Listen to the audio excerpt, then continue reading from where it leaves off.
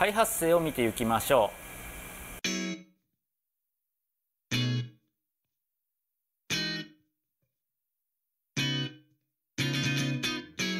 水生動物学研究室主催の太田金也です。このチャンネルでは私たちの研究活動や日常を紹介しております。今回は私たちの研究室から発表された文献をもとに金魚の肺発生を観察していきます。ではまずはじめに受精卵の取り扱いと観察方法について簡単な説明をします。前回の動画でもお見せしましたが金魚の卵は何かにくっつく性質があります。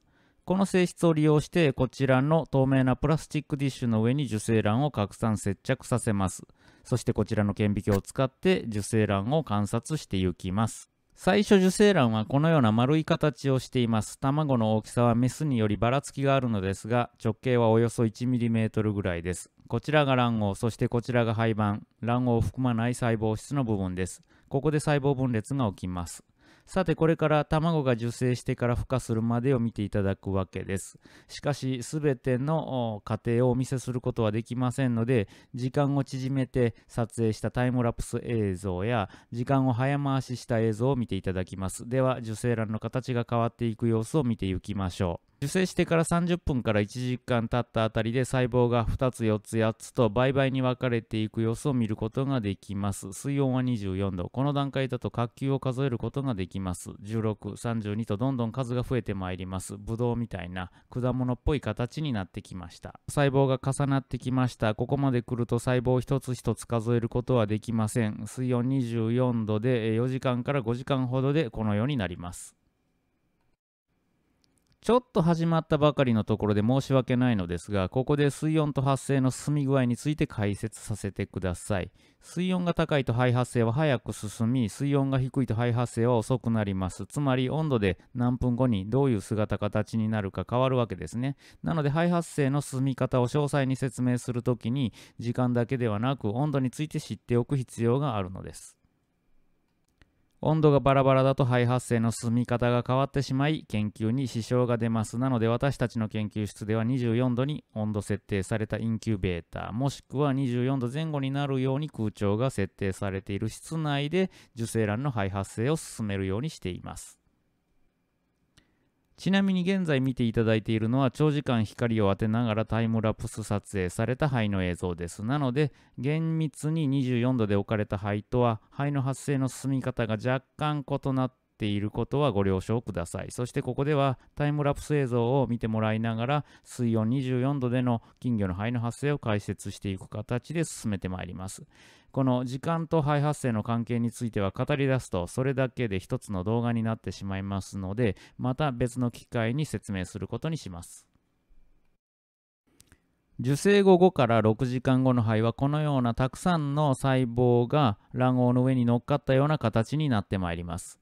肺盤と卵黄の周辺の部分の形が肺発生が進むごとに変わってまいります。細胞が何段重なっているのかもよくわからなくなってきます。そしてこれから細胞の位置関係が目まぐるしく変わります。ちょっと時間を飛ばしますね。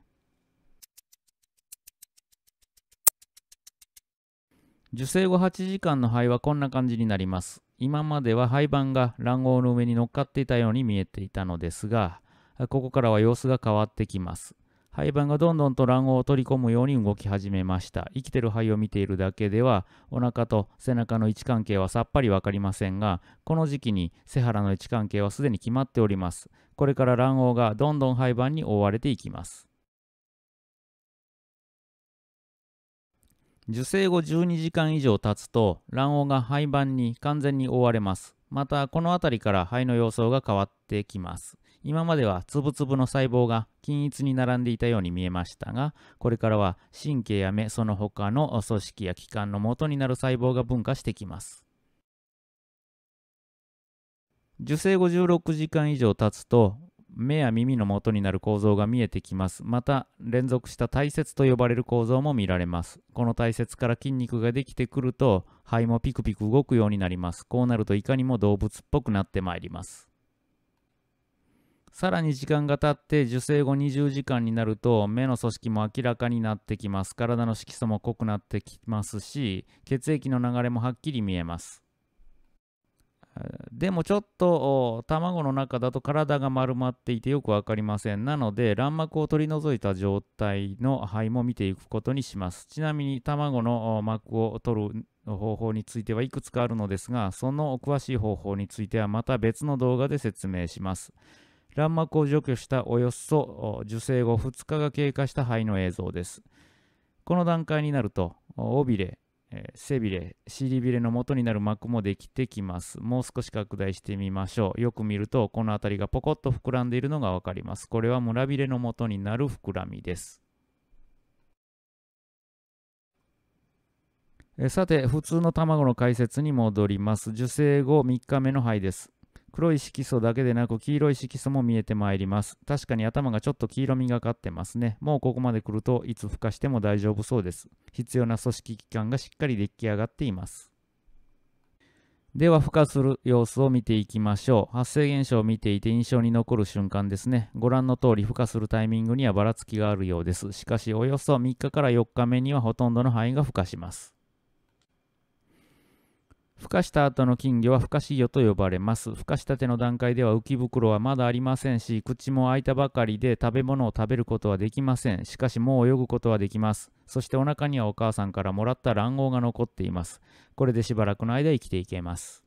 はい発生過程ざっくりとご覧いただきましたあ受精したあ丸い卵が時間を追うごとにどんどんと姿形を変えていく様子確認していただけたかと思います、まあ、しかしまだまだ今回の動画では説明しきれていないところもありますので後の動画で追ってですねもっと詳しい金魚の肺発生について説明していきたいと思いますのでお待ちください。